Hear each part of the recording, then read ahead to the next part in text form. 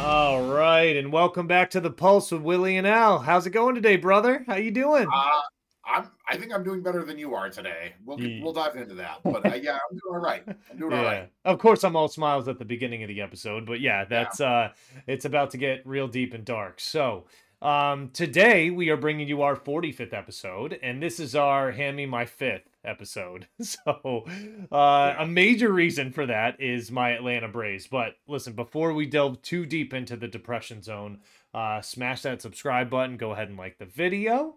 And uh, let's let's get into the dirt first here, man. Um, uh, my Atlanta Braves, uh, the hits just keep on coming, right? Spencer Strider was not enough to satisfy the baseball gods. Never so, uh, and uh, let, let's just take it back to early this morning, late last night for you.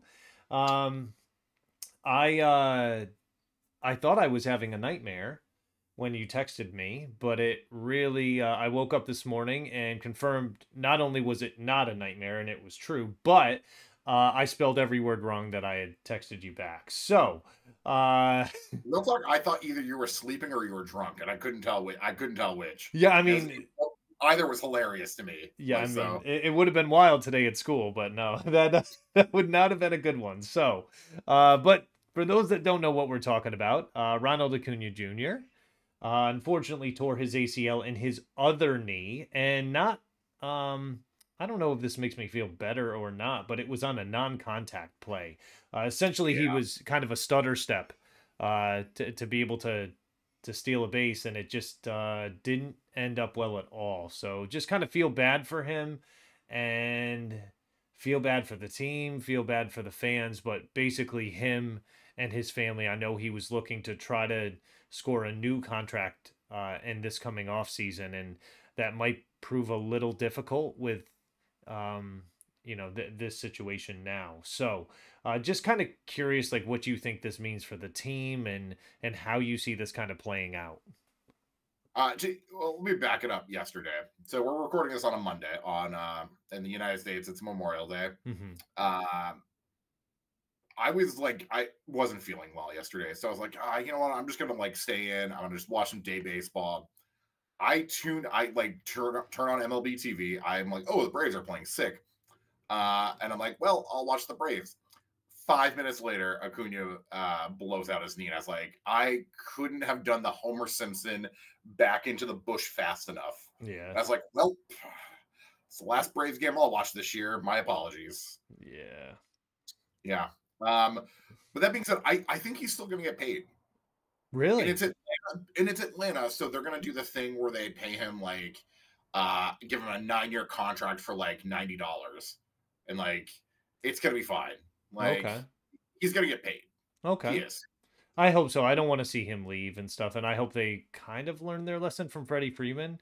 Uh, even though Matt Olson has been pretty good, not not great this year, but he was good last year. I just uh, I, I don't want to see a guy like Acuna be playing for another team, uh, especially someone like the Phillies or Mets or you know anyone Like like, it's that. not going to be what he thought it was going. to be. Yeah.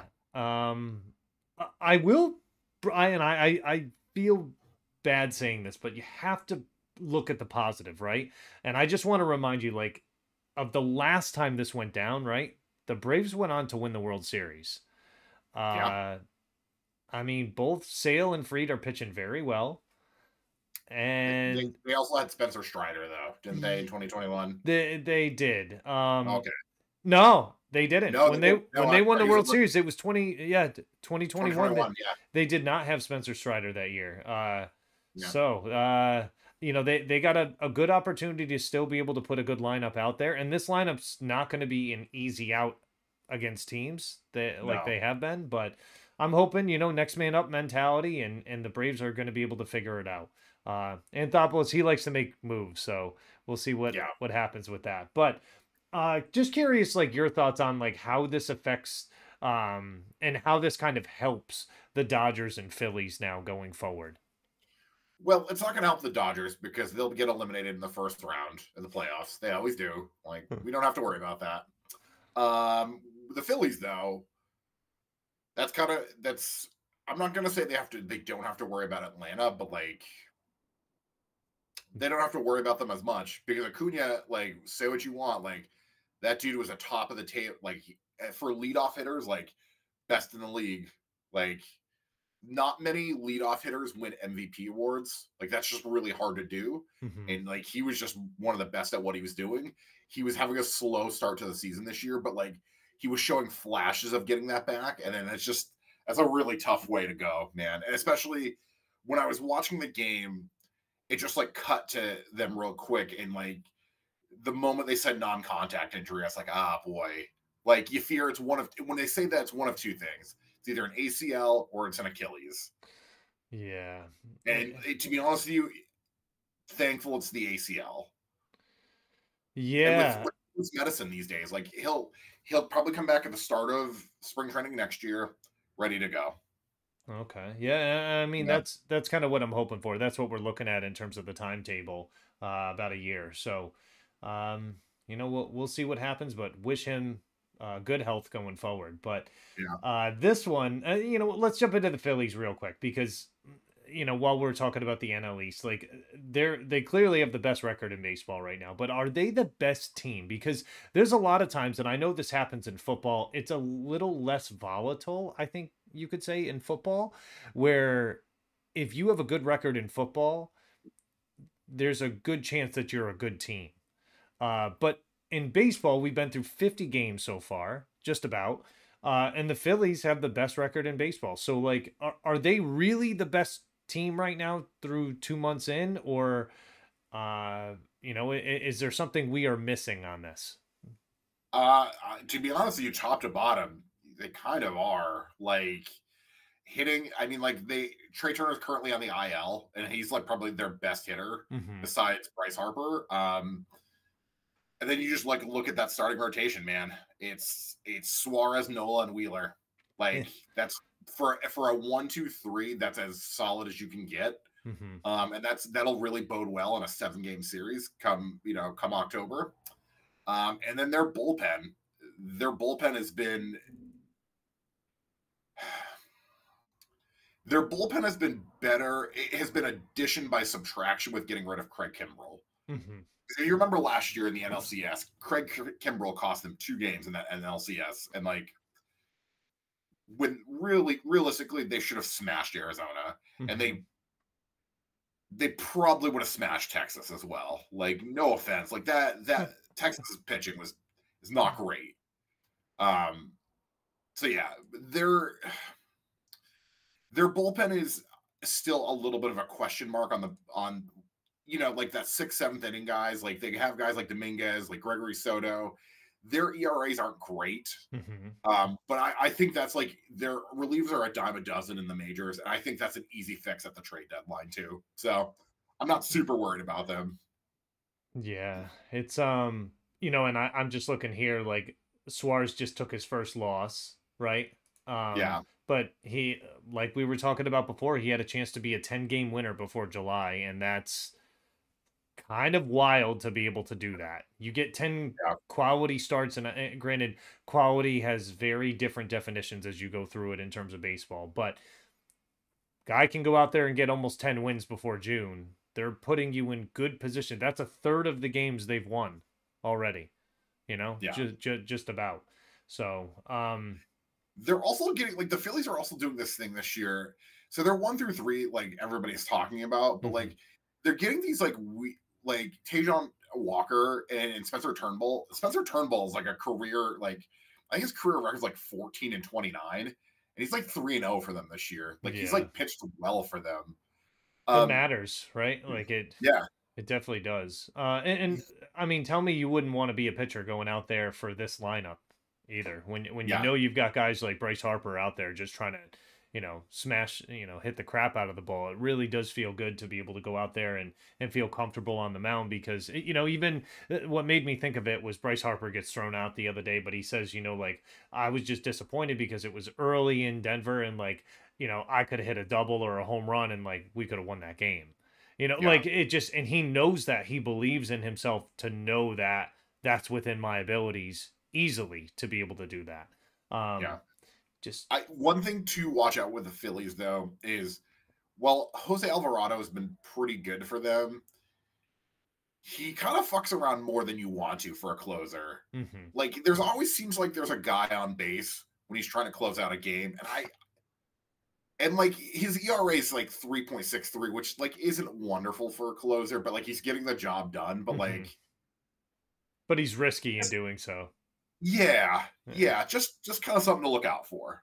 Yeah, I, feel like Chris Rock said that once, right? Like it's you know it can be done, but it's it's not meant to be done that way, right? Like yeah, uh, yeah it, it ultimately doesn't matter if they're going to keep smashing teams 10-3 in games. Yeah, like, yeah, it, it, doesn't matter. Like. Mm-hmm that run but, differential is huge right now, and that's that's a big uh, component to their their ability to win games. Some point, at some point in the playoffs, though, it's got to get tight. It always does, and then like that's when you kind of find out like what you have with your closer. Like right. One thing I wanted to mention because I know you were talking about the Dodgers having an early exit and stuff, and you had mentioned about Acuna, like how difficult it is to be a leadoff MVP. Like Ohtani's in position to be able to do that. You know, okay, so yeah. he's right now it's him and Mookie Betts at the top of the batting title. I think it was the 336, 335, both of them uh, neck and neck for that. And it's just to have two guys on your team that are hitting that well, um, it's kind of incredible. I mean, Ohtani got a couple hits yesterday, and that was him busting out of an in the and I busting in quotations out of an 0 for 10 slump.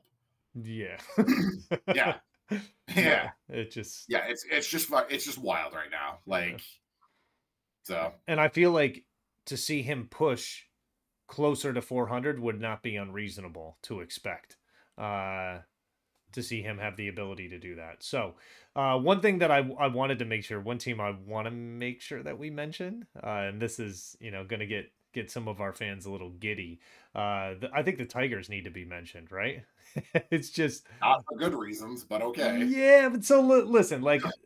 I just it's kind of interesting what they were able to do. So they blew a five run lead, which I know my dad would say, like, yep, that's good old Detroit Tiger baseball, right? Like they did that, but then they rally in the bottom of the ninth and they have the three three run uh, walk off home run to be able to win that game. And I just the reason I want to bring them up is because they're only one game back from your Sox. So yeah, I know I know you're not having big aspirations for your team this year, but I think it's kind of interesting, you know. And I look, you know, they're ten games back in the division. I'm not confident that they're going to be winning the division this year or anything like that, but I just think this division in general is is kind of uh, an anomaly from the others as as I look at it because you have two very surprising teams. Now uh, Cleveland, I know they've they're good and they've got a good good lineup, good rotation and stuff, but Kansas City being there, I, I feel like is a bit of a surprise. But I do want to point out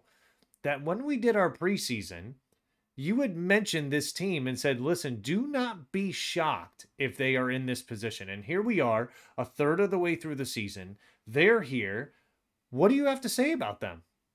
Uh, well, I think Kansas City just, they got a lot of guys that were like, are just competitors. Like uh, they, they had a lot of signings that, that announced to the major, like, hey, we might not have the most talented team in the league, but we're gonna grind and like we're gonna like make you work for these wins and like. And the Royals aren't half bad this year. Like the AL Central, the last couple of years has been what I like to call a division where, well, somebody has to win this yeah. legally. So who's it gonna be? It's, it's, true. It is true.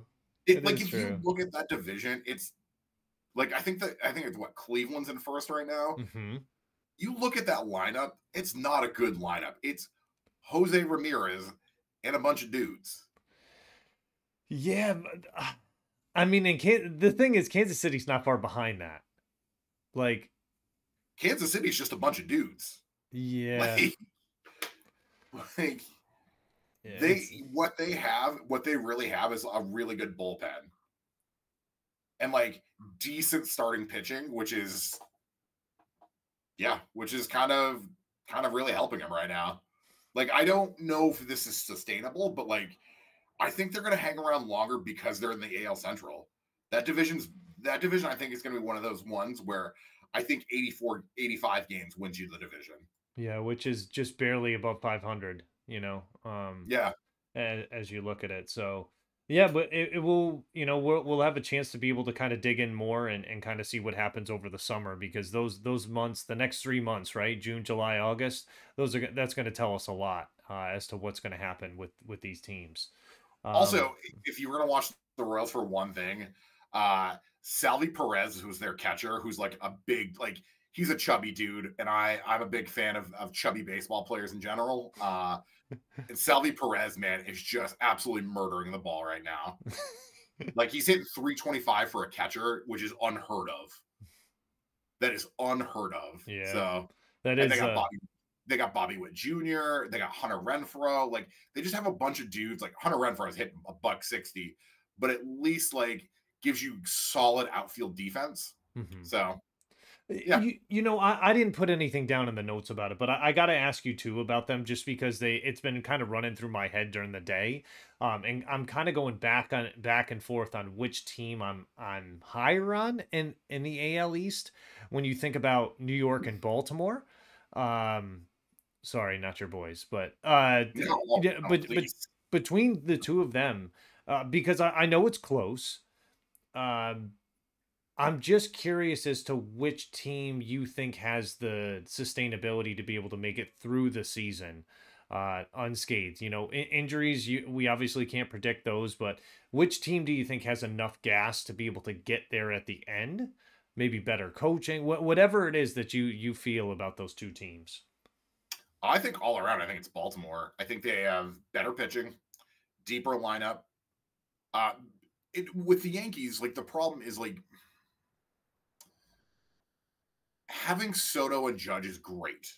That's fantastic. They're great power hitters, but like after that, you look at that lineup, like it's it's pretty barren, man. Like and, and they're and the Yankees pitching is is not good. Mm-hmm. Like like they don't even have Gerrit Cole back yet, and he hasn't even played a pitched an inning this season. I I just am curious. Like that, you can only do that for so long. Right. And granted, Judge has been really hot in the month of May. Like he's just been absolutely tattooing the ball, but like it's just not sustainable. Whereas with Baltimore, I think there's a better infrastructure in place. Um, and they have a farm system which they can they can easily kind of dip into to either a make a move at the deadline or just call up and you know try to get some depth. I know the Jackson Holliday thing didn't work out, mm-hmm. but I I'm under the belief that he was called up too soon. And I think that he's still a really good player.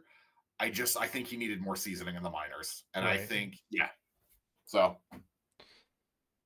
yeah, that's and I mean you never know until some of these guys come up how they're going to react, how they're going to play once, you know, once they're under the big lights. So that's kind of a a big thing. Now, but, mm-hmm. now the thing that worries me with Baltimore mm-hmm. Remember how we just talked about with Philadelphia, where it's subtract addition by subtraction with Craig Kimbrel? Yeah. Craig Kimbrel is Baltimore's closer. Just needs to be said. Just needs to be said. I've watched I've watched that story with Boston for a few years. Like it's maddening. Okay. So something we're yeah. gonna have to keep an eye on. Like I said, over the next three months is gonna be a real good indication of who these teams are as they kind of mold into exactly who they're who they're meant to be, I guess. Um, yeah. Any other stories in baseball you wanted to cover before we we we touch on the NFL here? Uh, we talked about the Royals real quick. I just kind of want to shout out Seth Lugo, dude that like hasn't like ever pitched really well. Is currently eight and one for the Royals, man, with an ERA of under two. That's like, big. I think he's gonna be. He's probably gonna be an All Star, and I honestly like. I love that for him. So yeah, yeah. it's yeah. really cool when you see guys that haven't performed or maybe like and I don't think it, gets said enough because people just look at stats and they're like, oh, this guy's record is this, or you know, same thing in football, right? Like, oh, this guy had had drops here. Like, there's so many factors that go into determining someone's production and possibility to acquire stats, right? Yeah. And I, I think, I don't know, like even like one one of the best examples I could think of was from years ago with Felix Hernandez, right? Being able to to p- pitch for the the Mariners and stuff. When when you look at that, it's like okay, well, uh, you know, he had a you, people look at his record, they're like he never should have won the Cy Young, but I don't know, man. Like loo- looking at who you you have to take a lot of factors into consideration when you're making those decisions. You can't just judge something through one lens and say, "All right, this guy's good or this guy's bad based on this." Right? Yeah. Um Also, Seth Lugo, his career high in wins was last year with the Padres at eight. He's already at eight this year. hey, that's So, pretty good then. Good on him, man. Good, yeah, on good good for him definitely. So um and we'll you know, hopefully we'll be able to see him. Make sure you get out there and vote for the All-Stars when uh when it's time. We're rolling in on that what in a, in about a month, man. Like the the voting's Yeah. got to start what in the next 2 weeks? At yeah, it starts pretty soon. Uh, yeah, it's the middle of July uh, in Texas this year. Is Oh, the, wow. uh, the All-Star game. It's Yep. going to be nice and hot there for everyone. So, Oh, they played a dome. It's a retractable. They you close the dome. oh, I, I, I still, it's still hot in Texas in summer, right? Yeah. so, all right. So moving into the NFL, uh, there's not much going on, but uh, they do have OTAs going right now, uh, which is kind of interesting because you're starting to see some of these guys coverage on them, right? Caleb Williams, Bo Nix, uh, talking about these guys. There's already, oh, okay, Bo Nix is going to be the starter over Zach Wilson, all of this stuff. But um, I, I think it's kind of interesting because you're seeing some of these guys finally get out there, right? The drafts happen, all that BS to the side. You know, most of them have signed their deals. Now it's, hey, get out there and let's see what you can start doing. Let's get to work. Um, but one guy that showed up to OTAs was a little bit lighter than we last expected. Uh, you know, or last saw him last year, right? Uh, Lamar Jackson showed up looking svelte. I don't know if you saw him. Yeah, Uh, What are your thoughts on that? I um, I I didn't realize that Lamar Jackson thought he needed to get faster, which the dude is already fast. Yeah. Like, I don't like. Cool, he's gonna be faster, which means like nobody really had a shot of catching him anyway, and now like now for sure nobody can catch him. What does worry me though is like he's one good hit from from being injured. Like that's he kind of got rid of some muscle that I was like, I don't know, man. Like you you know what it reminded me of? Uh, Did you see the movie Ford versus Ferrari? Yeah, I did. Yeah, yeah, yeah. remember when they start stripping stuff out of the car and they're like, "Oh yeah, don't need this, don't need this, this is too heavy." That's what I kind of felt like. He was like, "Oh yeah, don't need this trap muscle anymore. Just rip that off. Like, you know, let let's slim down on this, right?" And it, I, I don't know. I I feel like he is going to be lightning fast this year. I feel like it has the makings of a great season for him with what they've done in terms of bringing Derrick Henry in there. Uh, Yeah. And I feel like he's his job, he knows his role, is to shoulder the load from Lamar. And Lamar understands that. You hear him talking in press conferences already, and he's like, "Yo, this guy is he he's a beast." Like, it's great that he's here because uh, not only is he going to protect me, but you know, it's his job to carry the ball thirty times a game. It's not mine. So it's it's nice that he's trimmed down. I think it's going to make him more elusive. I hope we don't look. Uh, I hope we don't end up in a situation where he does get hurt because he's someone that even if he doesn't play for your team, you enjoy watching him play on Sunday, uh, and or Monday nights or Thursday nights or Saturday, wha- whatever day they're playing now. But uh, it just for me, I hope he's able to stay healthy all season. Yeah, I agree. Yeah, I it because we've seen this team when Lamar Jackson's not the quarterback and he's hurt, and it looks a lot different. And it's Yeah. not it's not pretty. I remember what two seasons ago in the playoffs going into it, and they're like, "Oh yeah, Huntley's going to be the guy," and it's like they're like, "Don't worry, he's just like him," and I'm like, "Well, just like him is not just like him, right? Like, yeah, nobody nobody's just like Lamar Jackson. Yeah, not at all. like Yeah. Yeah. Well, So- speaking of someone who is not like anybody else, uh, and I, I think this probably has some something to do with how his father kind of raised him and how he brought him up. But Marvin Harrison Jr. he finally inks his deal with the Cardinals.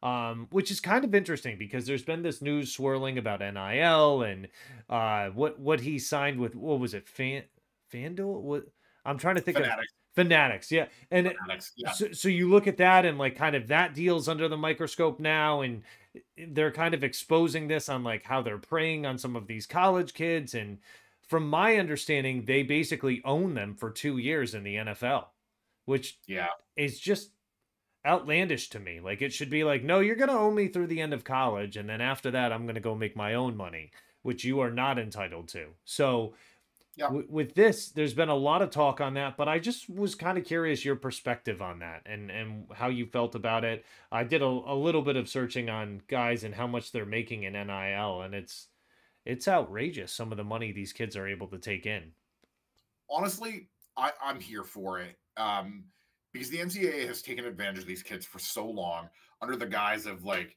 giving them an education, which is like great, but like these schools are making millions on millions of dollars off these guys while like they're not allowed to accept ten dollars from somebody. Like, I'm all for it. Mhm. Like, pay them. Like, well yeah it does that change the landscape of recruiting? Sure, it does. But like, I don't know. Like, get that back because especially in football, you don't know when your last play is going to be. Yeah, I I- and I, I get I guess I feel differently about football than maybe some of the other sports. Um, but I definitely feel that way. I, I've got no issue with them getting paid to play, especially when you look at some of these. You know, you turn uh, tune in on Saturday and you see the Rose Bowl game, or okay, it's not on Saturday; it's usually on Monday. But what whatever, right? Like you're turning into these bowl games, and they have 120,000 people in the stadium, and you're just thinking to yourself like, oh, the amount of money. Even if they charge one dollar per person, the school's getting rich off that right? Yep. And it's clearly not that. It's much more expensive than that. There's the concessions that go into it, the apparel they sell, everything like that off of these players' namesakes. And it's just not, uh, it doesn't leave you with a good feeling afterwards. And I know it, it happened years ago. Uh, and the previous generations, unfortunately, you can't go back and retroactively take care of them. Uh, but I feel like we're starting to understand that, especially with Reggie Bush getting the Heisman back, and like you know that that was a big piece that needed to happen. Uh, him getting that just trophy back. that. Yeah, Like, I'm so glad. I've been barking up that tree for years that Reggie Bush should have gotten his Heisman back. And like, Mhm. I, what's so funny is like Johnny Manziel was the guy. Like, yeah, he I- was the I guy. yeah, that was like, hey, like I'm I'm I'm not gonna show up anymore until you guys give back the Heisman. And like he kind of started something, and I think that like finally pushed the needle for the NCAA to be like, you know what, this is dumb. You're right. Like we shouldn't have taken it away in the first place. Like, yeah, The the one So- thing I, I did like is and like you heard people come out and say like even as I listened to Ryan Clark and Channing uh Channing Crowder talk and stuff and he's like oh dude we were accepting stuff all the time like they're Yeah. not going to go back and prosecute those guys right I, I don't know if Ryan Clark was saying that but I definitely heard Channing Crowder say that but I I just think back like the one thing I like about it is Reggie Bush didn't go and roll on anybody to when when he got caught right like he didn't turn around and point the finger at somebody else. He just said, "Man, I think this is really unfair that this is happening to me." And he bided his time, right? And was able to to be able to get it back. And I just I'm very happy that it's back in his hands. He was an absolute pleasure to watch in college. He was a you know, a pleasure to watch while we had him in the NFL. Uh, and you realize he moved around a little bit too. He had an impact on quite a few different teams. Uh, with yeah, with not, Detroit, New Orleans, Yeah, uh, yeah. Yeah, it just Yeah. I know he was part of that big hit uh, uh against the Eagles that time. Remember that? Uh, Yeah, it, it wasn't rocked. Troy Vincent. Who was it that ended up hitting him? It was a it was a smack hit, and I'm like, oh man, that is that's rough.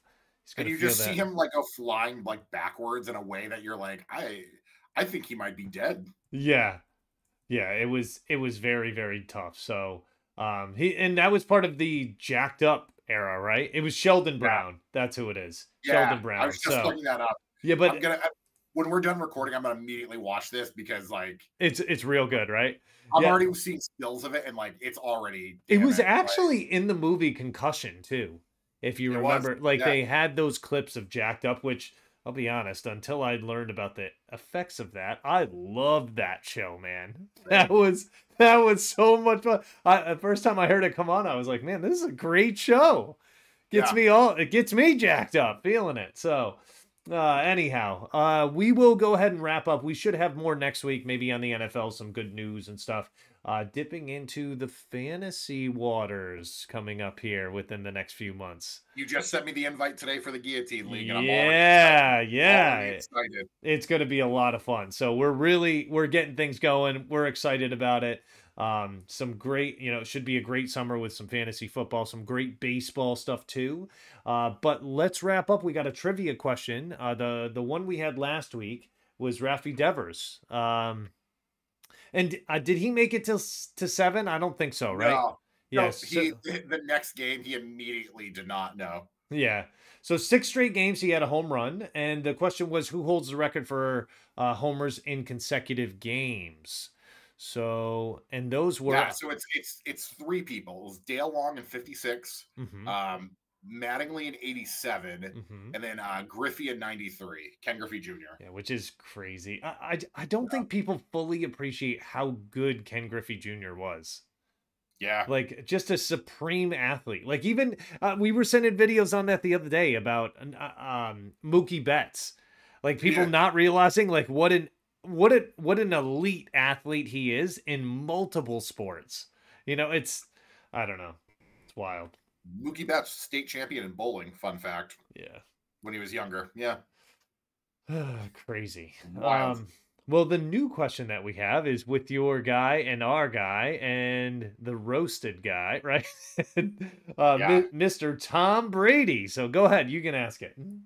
uh, Tom Brady uh, has crushed a lot of people's hopes and dreams over the years, uh, but there is one team where he does not have a career-winning record against. Who is that team? And I'll give you a hint. It's probably not Miami. It's probably not Buffalo, and it's probably not the Jets. so, you know, uh, this is actually a good time, real quick. I, I do want to have a PSA real quick. yeah. Um, fuck the Jets. Ah, okay. Yeah. there we go. All right. Well, um, I don't, I don't have any hatred towards the Jets, so um, send your hate to him. Uh, Yeah. not me, not me. So, um, other than that, man, great episode this week. I know we will be back next week uh, to be able to give you some more content and stuff, but really appreciate you guys tuning in. Thank you so much, and uh, yeah, we'll be back again next week. All right, man. All right, love you, brother. Peace. Peace.